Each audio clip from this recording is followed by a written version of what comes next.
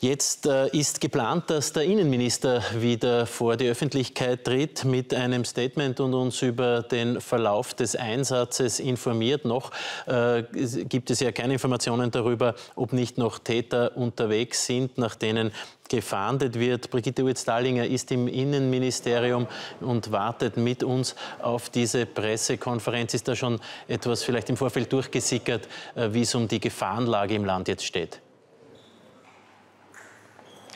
Nein, noch nicht wirklich. Ähm, äh, vielleicht erfahren wir in den nächsten Minuten dann etwas. Es soll jetzt eine Pressekonferenz geben mit dem Innenminister Nehammer und mit dem Generaldirektor für öffentliche Sicherheit, Franz Ruf.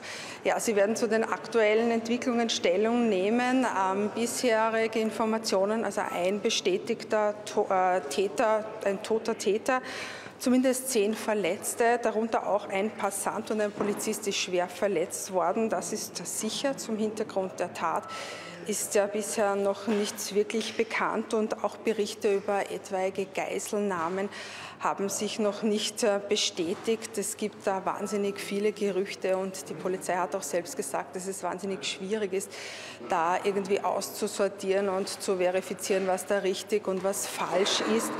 Ja, die Fahndung, die läuft also nach dem Täter oder nach den Tätern und ähm, ich hoffe, wir erfahren dann noch mehr.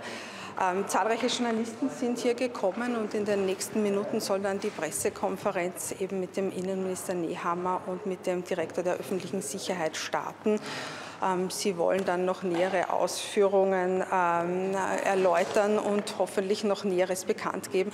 Heute ist ja eigentlich ein Tag, ähm, der ganz im Zeichen der künftigen Ausgangsbeschränkungen steht, die ja ab morgen eigentlich stattfinden hätten sollen. Jetzt ist dann doch alles anders gekommen mit dieser ähm, schockierenden Tat. Ähm, man wird dann sehen, was da noch alles ans Tageslicht kommt, ob das irgendwie von langer Hand geplant war, ob das ein, Hinter-, ein, ein islamisch, islamistischer Hintergrund war und so weiter. Also schauen wir mal, was da noch alles ans äh, Tageslicht kommt. Ja, in den nächsten, Tagen, äh, nächsten Minuten soll es beginnen. Die Journalisten warten schon gespannt und sind natürlich zahlreich gekommen.